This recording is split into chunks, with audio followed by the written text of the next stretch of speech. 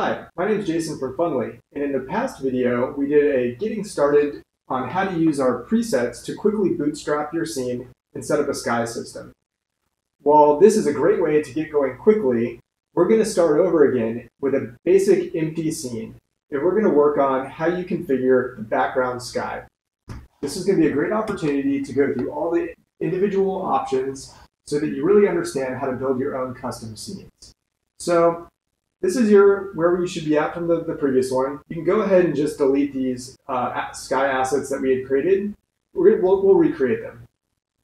Let's go to Window, Funly Sky Studio, Setup Sky, and let's pick 3D blank sky. This is going to install an empty sky profile and an empty sky controller in the scene, and we'll be able to use this as our building block in Canvas for all of the future tutorials, and we'll walk through every single option, and I'll show you what it does, and we'll kind of play with it. So let's go ahead and do that. Click Create Sky, but then now you can close this. You can see now we just have an empty uh, simple gradient, and your getting started sky profile is here, and this is a material, which is actually the skybox material. It's important to note you really never want to actually manipulate the skybox material. You want to always work with the sky profile. The sky profile is continuously applied onto the material to keep it in sync whenever values change. So if you set something on the material, it'll likely just get wiped out. Um, it looks like, uh, let's first start with our features section. The features section enables what you're going to end up seeing in the skybox. It looks like I had moon selected. Let's go ahead and deselect everything except for the gradient background. That's what we're going to talk about in this tutorial. If I uncheck gradient background, you'll notice the sky options change and you get a sky cube map. This is if you want to have your own custom backgrounds, and we'll talk about that in the next video. Right now, we select gradient background. So here, you can see we have a sky upper color, sky middle color, and lower color. This is exactly what you'd think. This lets you adjust the colors of the sky to whatever you want. For this tutorial right now, we're going to kind of create a, a nighttime scene and just kind of mess around with the colors and go through the different options below, and you can see how they all work. Something that's helpful is let's just hide our terrain for now because it kind of gets in the way for, for just the demonstration purposes. Let's go back, select the sky profile, and let's go ahead and just create some nighttime colors. This looks reasonable. You can go ahead and click the Sky middle color.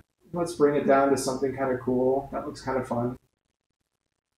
And then for the lower color, we can pick maybe something, maybe something like that. So now the next option we have here is the sky middle color balance. This uh, determines how close the middle color is to the upper or, um, or the lower color. It basically shifts the, shifts the weight of the gradient uh, you typically want to have this shifted down a little bit closer to the ground. It gives kind of an atmospheric effect with the terrain. We'll see that later as we bring the terrain back in. But if you wanted just a perfectly linear gradient, just set it to 0.5 and the, it'll be even. The horizon position value lets you shift the gradient to fit your scene. So if your terrain isn't exactly at y equals zero, you can actually just lift it up. And um, that's just a great way to align it and customize it for yourself. The sky gradient length actually lets you stretch the gradient or compress it. It's the distance that the gradient will go from the lower to middle to upper. Um, usually you want to have a pretty long, longish gradient. That way it feels like it's uh, smooth and continual and the user doesn't notice the breaks in the color. So now these next values are about customizing how the star fits into the back. Stars fit into the background scene. So we're going to bring in a star layer. So just click star layer one. And let's go down and kind of just give it some options here. And it looks like already you can see there are some, some very, I've made them large just for, um, just so that we can see them right now. But let's bring the density up on these stars. Let's make the size more reasonable. Something like 0.005 looks fine. And then you can see there's now stars inlaid into the, the background. So the star start is the position at which we begin like fading in the stars. As I lift it, the stars are only higher up in the scene. as I drop it down, the stars come down in the scene. So you can figure out where in your horizon you want the stars to begin or end.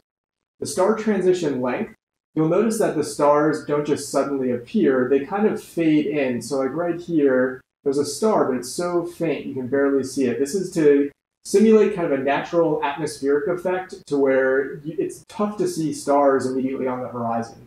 So if I bring the length down, now you're seeing those sharper stars, and you can see this, the edge, the cutoff edge a lot, a lot harder.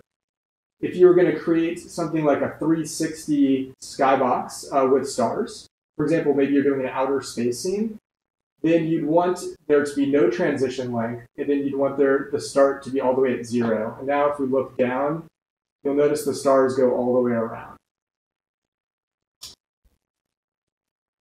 So let's bring that up to something back that's a little bit more reasonable, like there. Transition length, give it a nice value. And then let's bring our terrain back in. So now you can see we have something that actually looks, looks pretty close to how I might want it to look here. We can go ahead and adjust the horizon position to kind of custom fit our scene. Maybe I didn't really want a gray. Maybe I want something that's a little bit, a little bit stranger. Maybe a yellow glow from a sunset that just happened.